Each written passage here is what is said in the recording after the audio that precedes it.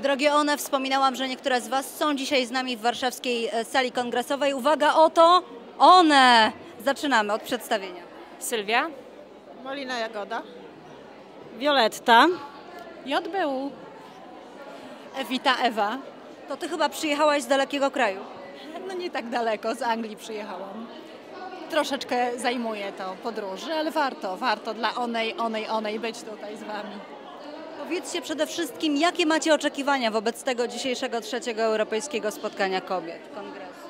No mi jest cokolwiek ciężko powiedzieć, ponieważ jest to pierwszy raz, kiedy jestem na, na tym kongresie, ale przede wszystkim to, co tutaj widzę, to można uzyskać taką naprawdę siłę, którą dają właśnie przede wszystkim kobiety do działania i, i cieszyć się, że jesteśmy właśnie wszystkie razem i że potrafimy się tak jednoczyć i, i działać. Czerpię stąd pozytywną energię i inspirację do działania, szczególnie tam y, z Parku Kobiet.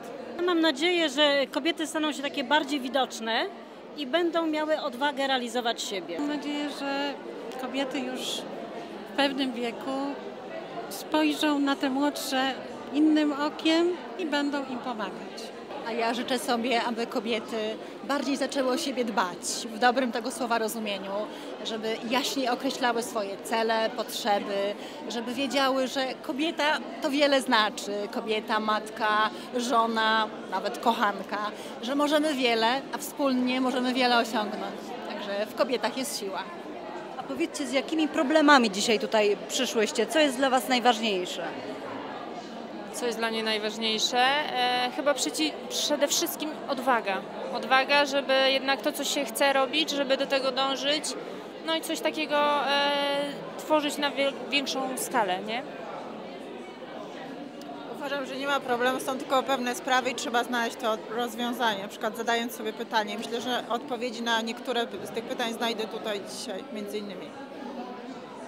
Ja widzę, że kobiety szukają różnych możliwości i nie, nie bardzo umieją je znaleźć i my, które już tą drogę przeszłyśmy, widzimy pewne rzeczy, już rozpoznajemy takie osoby, które szukają i trzeba im tylko rękę podać. I, i tego oczekuję właśnie, że to nam się uda zrobić.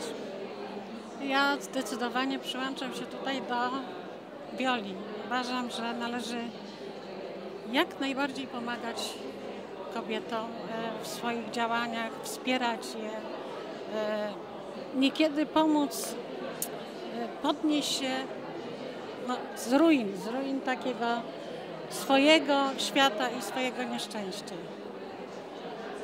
No ja choć mieszkam trochę dalej od Polski, to jednak jestem blisko kobiet w ogóle, także sekunduję, wspieram kobiety, żeby po prostu stawały się kobietami, żeby rozumiały, co to jest być kobietą i żeby szły za kobiecością w sobie, żeby stawały się silniejsze. E, Pomimo problemów oczywiście, polskie kobiety mają wiele problemów, tak? Problem bezrobocia, problemy rodzinne, środowiskowe, choroby, tak? Choro- problemy z dziećmi, ale kobieta naprawdę wiele może, tylko musi poszukać, tak? skąd czerpać tą siłę. Albo się można tego nauczyć, albo skorzystać ze szkoleń, albo można otworzyć własny mały biznes, tak? posiłkując się dotacjami unijnymi.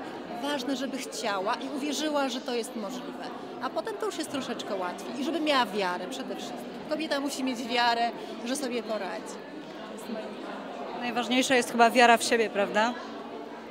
Zdecydowanie wiara w siebie i taka, mm, taka wręcz dziecięca pewność, że ja to chcę mieć, to mi się należy.